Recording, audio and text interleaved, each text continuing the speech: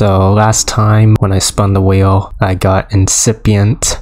I beat that in a few hours, and now I'm gonna spin it one more time to decide my 54th extreme demon, and it will be the last one I beat before I start my next big project. So here we go.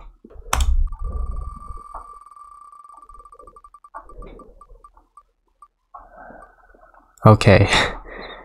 I guess I'm fine with this as well, but it's not really what I was expecting. But we're gonna do it.